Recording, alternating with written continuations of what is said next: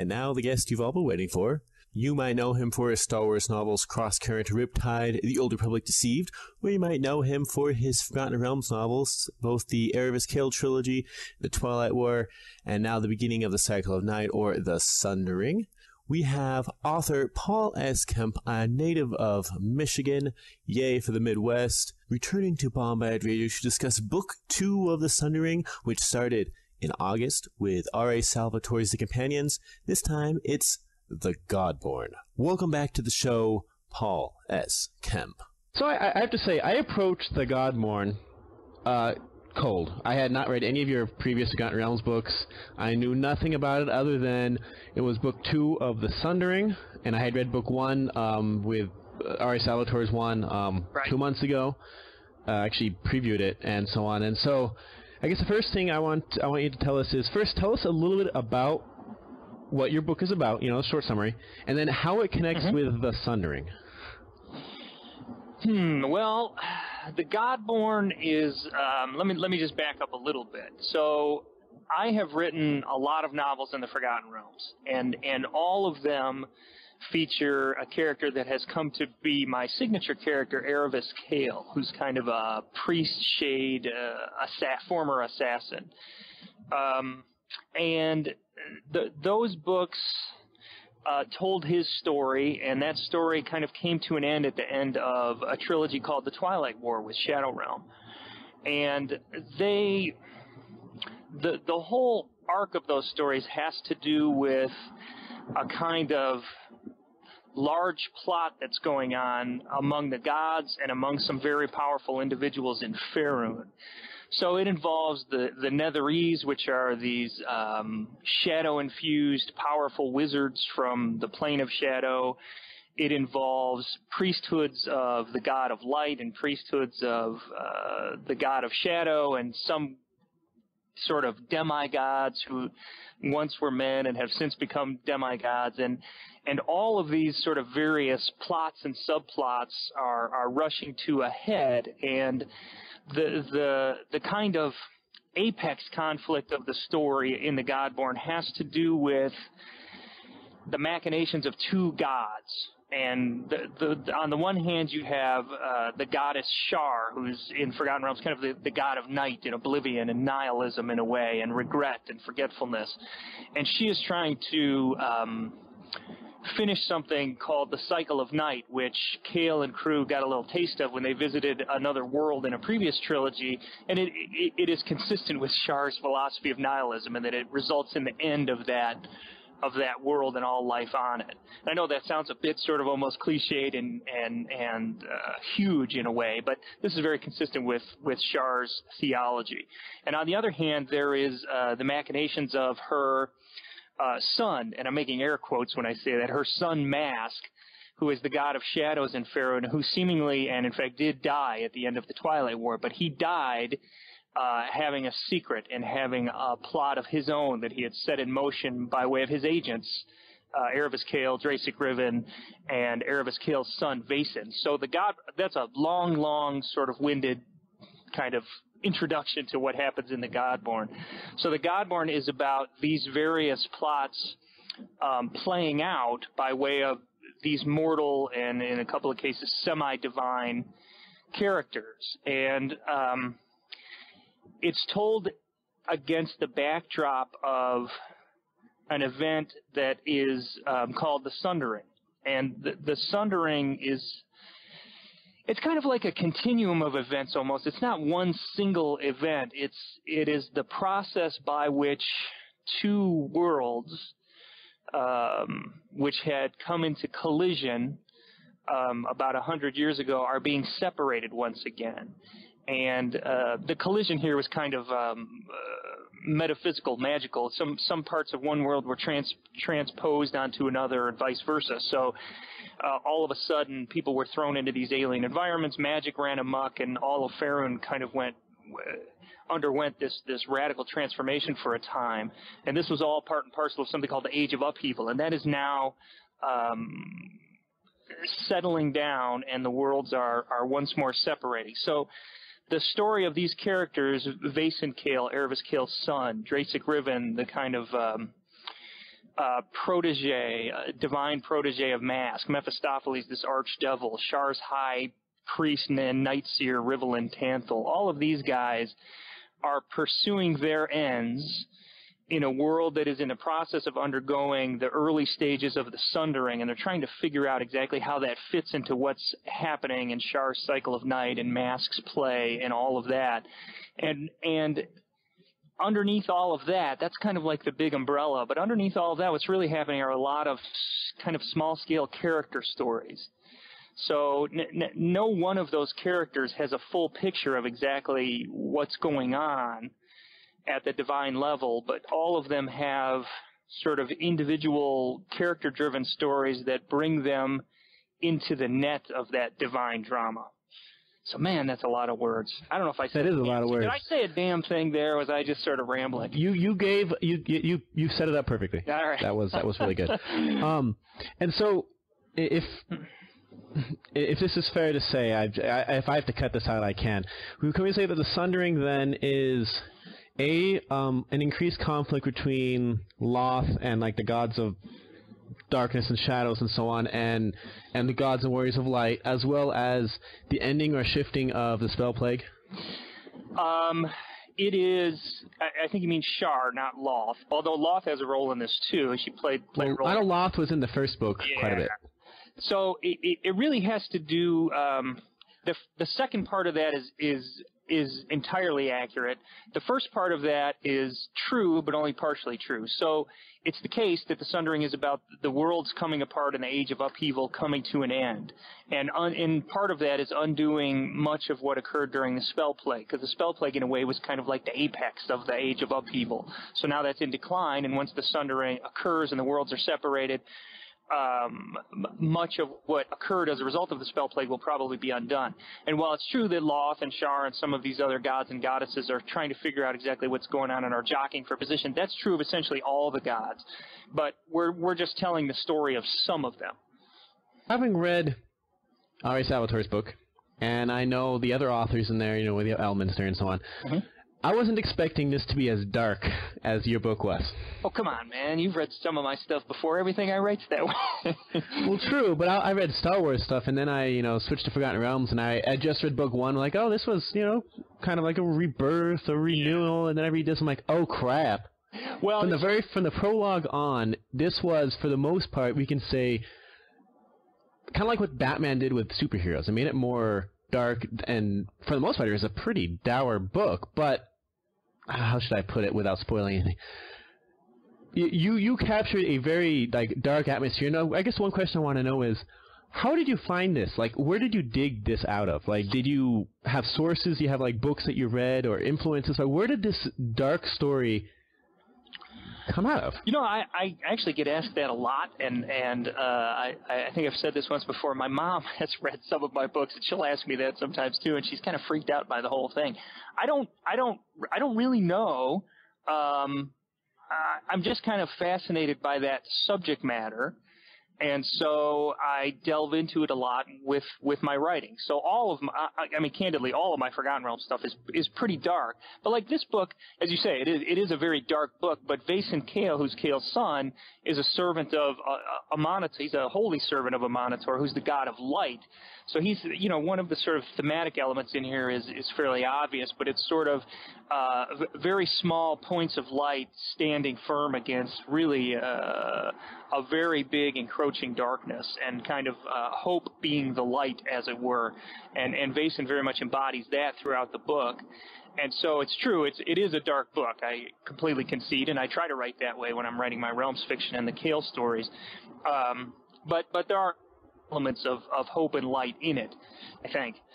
But I, you know, I don't know exactly where it comes from. As I say, it's just one of those things that uh, you plumb the depths of your mind too much, you probably get in places you don't want to go. So I don't want to dig too deep into that. I just I just write that stuff down, brother. So I would say, like at the very beginning, I was captivated by the, the prologue, which I guess this is a minor spoiler, but it's the very beginning of the book, which involves a rather different birth scene. Um, you know that Yeah. capture that goes from you know being something you know you have fear in there, you have terror in there, you have hope in there, you have love in there, you have all these different emotions captured in one in one prologue. Did that prologue take a long time to write or rewrite? Because it seemed as if you captured so many different aspects of human emotion in one short little area that it just seemed I don't know, it seemed too too perfect to be just something that just came out instantly. Well, thank you for saying that. I, I actually I think that that prologue is probably the the best opening chapter I've written in any of the dozen or more novels that I've written. So, um, you know, like all of my work, you you write it and then you rewrite it a bit, and then you tweak it and you rewrite it a little bit more. I, I'm not exactly sure how long it it that, that one that one took relative to other scenes, but but it, it you know it was uh, an emotional gut punch even for me when I was writing it. So you know hopefully when that happens, it's, it's not because you're just so narcissistic you love your own writing, and it is instead a bit more of like wow this this does have some emotional resonance. Hopefully it will for readers also. Another early scene um, involved uh, two brothers, which uh, I'm quite sure other people already know who they are, but you know I had no idea who they were. Who at the very beginning I felt sorry for, and then very quickly learned you shouldn't, and then you learn you should. But you know these two, two brothers, like the early scene where they run across a band of uh, peasants that are being attacked by one of the well one of the monsters that's inhabited because of the, the plague and so on. And that scene, you know, I should say, it. First of all, it's very well written scene. Like you can follow it very well, tracks very well. But you went in this whole in this one chapter, you go from these two brothers that you like to being terrified of them. So did you do that on purpose? Were you trying to make us feel sorry for them, and then all of a sudden you just flip a switch and you're like, oh, these guys should not be liked? Well, you know, it's it's more like I, I want to make even uh, the most horrible of villains complicated enough that um, even while a reader on the one hand can say these are evil dudes, and Saeed and Ziad are they're evil guys fundamentally, but but you, you want to make them complicated. That you want to make that evil not not understandable exactly, but you want to make it um, sensible to a reader and because nobody's just sort of walking around going hey hey i'm going to be evil today so w- when you make it sensible that tends to uh, that tends to um, put in place kinds of details that readers will sometimes go you know i kind of get where what what has happened to these guys and it's kind of tragic and unfortunate wrong place wrong time um, uh, it, it, and so but by doing that, you know, you, you can it can seem like you're getting whipsawed a little bit between, hey, these guys aren't they're somewhat sympathetic to, oh, oh my God, they're nightmarish, and and then finally back to maybe, oh, oh my God, they're suffering a nightmare. You know, it's it's I, I love creating good characters who uh, people ultimately think are are good, but who really toe the moral line, and and I love creating evil characters who are. Uh, at the end of the day, evil, yes, but who still have characteristics that make them understandable, sensible, if not sympathetic to a reader. And I think, you know, Jeremiah, one of the things that fantasy fiction does really well, and I've said this many times before, is that it really allows for the exploration of kind of, of, of morality in a way that, that some other kinds of realist fiction does not. And so I try to play around a lot with gray areas of morality with, with my characters both both the heroes, the anti-heroes, and the villains. I mean, I think And- I, I mean even Rivalen in in this, in particular if you've read all of the previous books to see how Rivalen got to where he is in this book, and and for people who maybe haven't read all the books, Rivalen is a is a high priest of the goddess of loss, who's kind of one of the uh, her plotting is, is sort of one of the big bad things going on in the book. And uh, for him to go from where he was to where he is in this book has just been an absolute blast write. And he's Yeah, I had this feeling that a lot of these characters pop up that you were just having a lot of fun with them. Especially some. I won't spoil what happens in the last thirty percent, but what a character does in the last thirty percent of that book, um, that doesn't do anything really until then. I have to say, you must have had a, a, a blast writing the finale of this.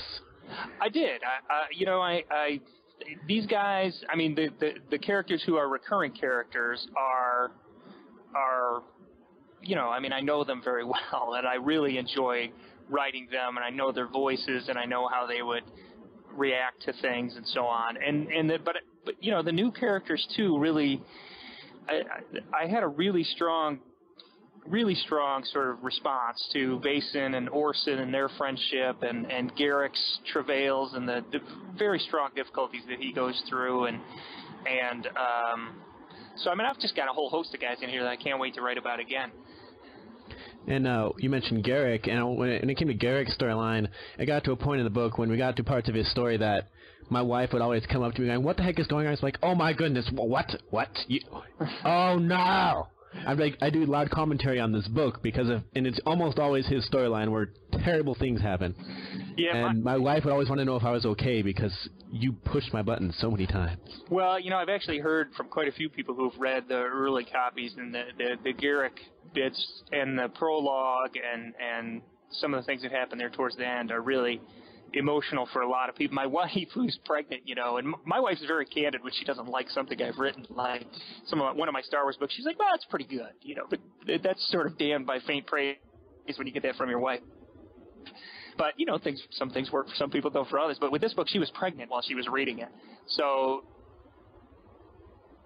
I don't see a pregnant woman like given you. some of the scenes that occur and just her general sort of emotional state. She was she was she was weepy all the time while reading this book. So so that's good. You know, you want you want um, as a writer, what you really want is is to set up a kind of emotional resonance through the prose with your readers, and you want them to feel for the characters, and you want them to root for the heroes and root against the villains, and and you want them to feel the highs and lows. So I'm glad that that that, that some of those scenes worked for you.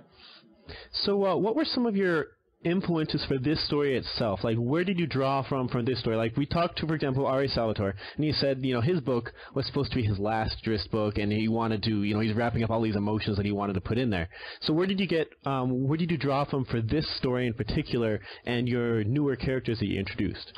Well, um, so the, the name of this book is The Godborn, and uh, birth and rebirth are kind of a uh, recurring motif in the novel. If you think of it, it's not always so obvious, but in some cases, in some cases it's plainly obvious, in others it's a little more subtle. But if you ever take a step back and think about it, you'll see that, that birth and rebirth are very, uh, uh, very present thematically in the novel. And I, I think, you know, I, I I have sort of young kids, and and one my my one daughter Delaney is two years old, and my our new his daughter Sloane is now five weeks old, and um, as I was, you know, in the case of Sloane, I'd been just been making edits, but with with Delaney, I was writing the the novel with you know this brand new baby, and a lot of this birth and rebirth and the responsibilities that that come with that, and the kinds of sacrifices that people make for for their children and and and so on, and and just the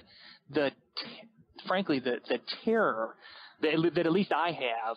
You know, I, I always tell people every time I have a, a we have a new child, I have a kind of you know this provide and protect response gets triggered in me, and I get I, I have these weird nightmares, and I have, you know, you're just terrified that you can't keep your child safe or provide appropriately for them and all of that. And I, a lot of that fed into this novel.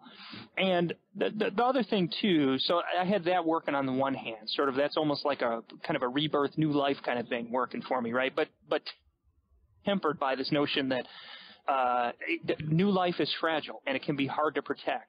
And, and, and losing it, uh, here I'm talking about some events in the novel are, are just they're just impossible to bear. It's just so hard to bear.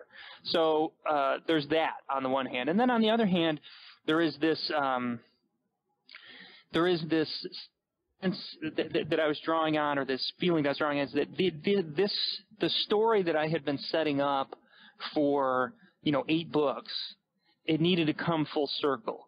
I mean, I hesitate to use the word closure there, but, but it needed to come full circle. I wanted to conclude the story that I had told. I wanted to show how previous events had affected characters like Magadon and the kind of burden that Riven was operating under.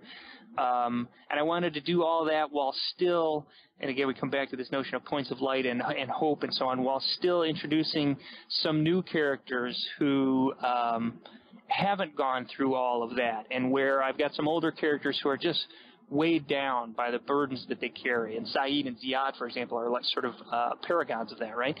Um, and, on the other hand, I've got these other characters who who bring a sense of hope to that kind of thing. And Vasen would embody that, whereas Orsin, um, with his his philosophy about being reincarnated and reborn and so forth, he, here's a guy who thinks that he's undergone lots of lifetimes and has carried lots of burdens, but still maintains a, a, a strong sense of optimism and hope. So I, all of those things kind of fed into it for me.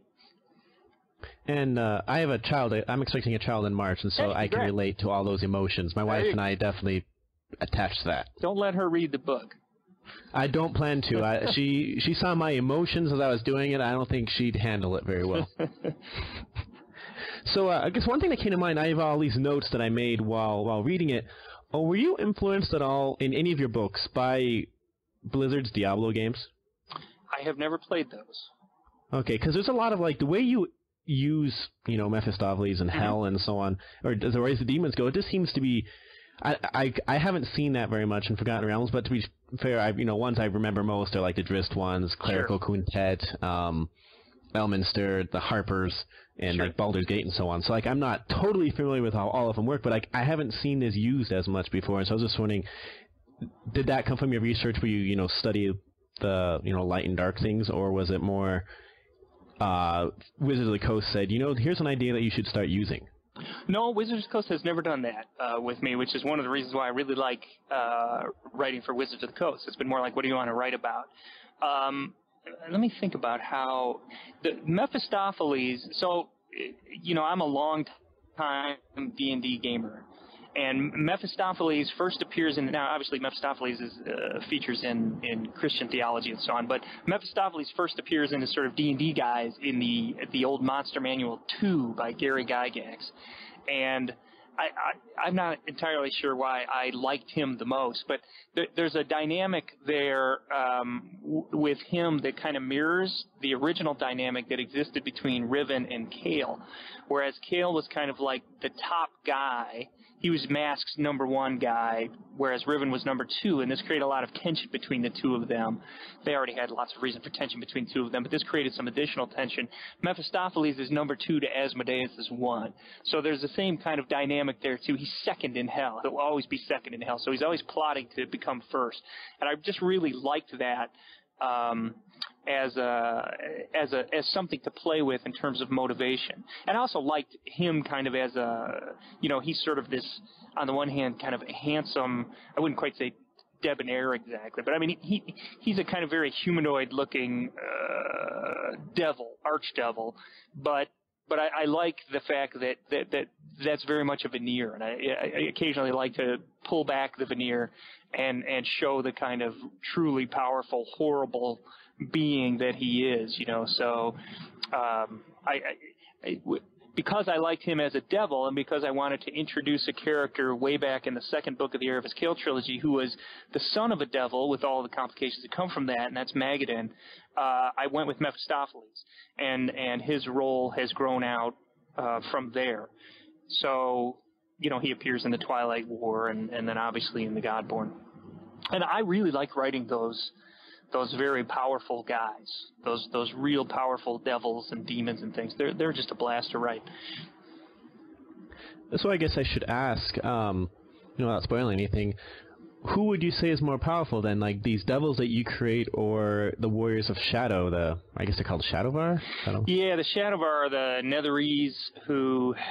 Yeah, I don't know. You don't need a whole history lesson on the Forgotten Realms. Yeah, they're mentioned in very lots of power- books. They're very powerful wizards, and there's a long history in Faerun for the Netherese, uh, for the Shadovar. Um, well, I mean, I mean, the, the the short answer is it depends, because it depends a lot on on w- where any kind of conflict is occurring and who could prepare for the conflict and and who has gamed things out ahead of time and and so on. And um, so you know, in terms of sort of pure kind of primal power, I mean, it'd be very difficult to match Mephistopheles, particularly Mephistopheles with a shard of divine power that he stole from from Mask. Um, you know, that said, uh, arch wizards who have been around thousands of years, like Telamont Tanthul and, and Rivalen, who's now a demigod himself. Th- those guys are very powerful too. So I, I don't. I mean, to be perfectly honest, I really don't. I tend not to think in terms of who's sort of. You get past a certain point with with characters that are that powerful, and basically I, a lot of times people who play D and D they want to kind of put a number on it. They're like, well, you know, Telamont is a 30th level wizard and and Mephistopheles is an archdevil. There's no way a 30th level wizard could take out an archdevil. But I don't even really think in those terms because these guys are just so enormously powerful that in any given set of conditions, either one of them could kill the other one. It's just it's just the way it is. So the, my goal is just to tell a really interesting story with really powerful guys, and and you know how that happens is how that happens. Okay. Um, and just a, a, couple more questions, you know, not necessarily related to that one. So you mentioned before how, you know, being a father really, you know, related to, to some of the stuff in this. So is, is that why there's repeated themes throughout this whole thing about especially fathers mm-hmm. and losing you know, fathers and the effect of losing wives and children, or the uh, or the potential of losing wives and children, and so on. That was that like really, really on your mind when you wrote this because it's repeated over and over and over. It, it, I agree, it is. It shows up. Um, it shows up a lot. I, you know, it probably is on my mind and was on my mind, uh, and I, but it is pro- probably also pretty deeply embedded in my subconscious too. And, and like if I reread the book, and I, I make a habit of never rereading things that I've written before. But if I were to reread the book, I, I bet I would see a lot more than I consciously kind of put in. So yeah, it was on my mind, and some of those instances are obviously uh, intentional. But I, I bet there's some some of the subtext and some of the in some of the scenes and with some of the relationships of the characters is, was probably something that happened subconsciously. Because it is. It's just it's on my mind. I, you know, I have young kids, so it's just something I think about a lot. Okay, so now this next question is more about what Wizards of the Coast was doing. Um, you know, this the series The Sundering is you know a D&D event. It's their Forgotten Realms event. You know, it's a big event that's changing as they change rules for D&D and so on. Mm-hmm. So, uh, how did Wizards of the Coast approach you to write this book for the Sundering, or did they say see a book that you were writing and say put it as this as the Sundering? Because the Sundering seems to be, you know, it's what eight um uh, related but unrelated contained stories. So how did they put that together? So it kind of went like this. Um, I was and am. I was under contract to write um, the next trilogy featuring uh, the ongoing stories of Riven and the Shadovar and all that. And this was going to be called The Cycle of Night. And for a variety of reasons, there were some delays associated with this. And I had the story outlined and, and eventually had begun to write it. And while I was in the course of writing this, my editor kept saying, "Do you think you could tell this story in in one book?" And I'm thinking, uh, candidly at the time, because this was a he was a new he was new to me at the time. This editor and I hadn't worked together before. I was thinking, what in the hell are you talking about? Of course, I can't tell it in a story. It's a, it's a trilogy, man. you know, uh, but, he wasn't giving me any further detail because at the time he wasn't able to. So he was just sort of sticking out this sort of general probe of a question. So I just went on my merry way, thinking that was just a puzzling question.